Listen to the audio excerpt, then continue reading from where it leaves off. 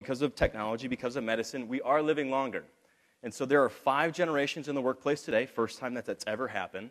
But since we're living longer, we're working longer, it's very feasible in the very near future that we could be working with six, seven, eight, God forbid, nine different generations in the workplace.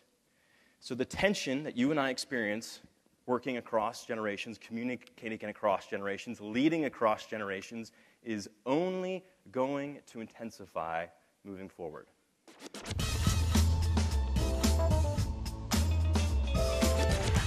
So I think it's really important that we find our footing in today's multi generational workplace. Here's why today's different for two reasons technology and the internet. Those two items have been the greatest equalizer. You have those two powerful items that are changing the game everywhere, and you couple those with the largest generation on the planet, and that's the recipe for massive disruption. My message is not to let's change for the millennials. That's not my message. Do not hear me say that. It's not to change for the millennials.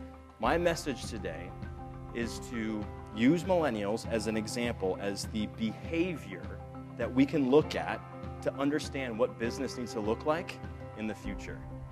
So, my goal here is to share all these things, dig in deep with the millennials so you can run your, your organizations, lead, and communicate like it's the 21st century.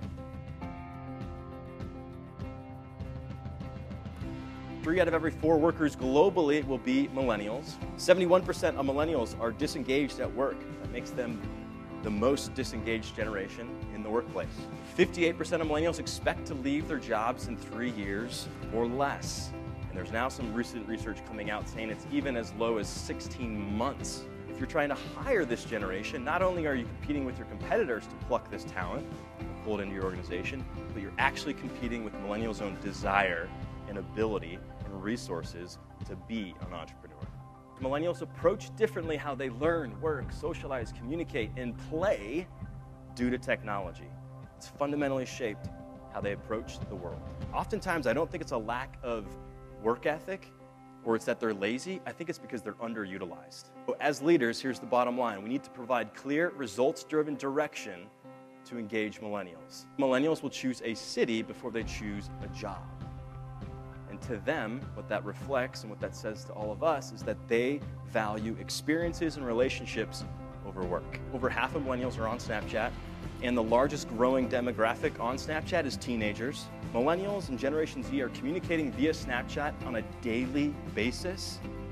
Do you think when they come into the workplace that they're going to be satisfied with email 30% of 21 to 32 year olds have already achieved a management position. Millennials' high tech and hyper social upbringing has made them disruption prone leaders. This device is 100,000, 100,000 times smaller and several billion, with a B, several billion times more powerful than a computer was in the early 1970s.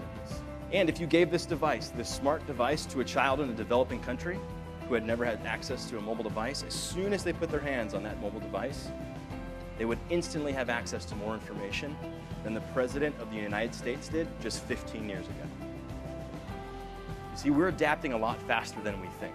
So, yes, millennials, yes, Generation Z are all demanding change, but bigger picture is that the exponential times that you and I live in are forcing us to change. If we ignore it, if we rest on what's always been and the status quo, we will be passed at the speed of Uber. Things are changing at a rapid rate right now. We got to find our footing.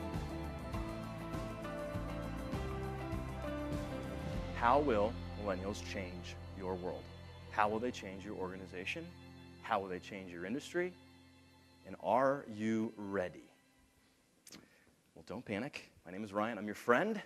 We're going to figure this out together.